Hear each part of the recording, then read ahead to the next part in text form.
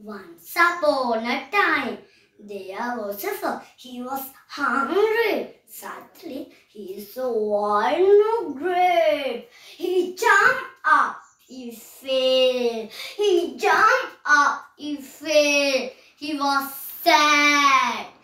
This grapes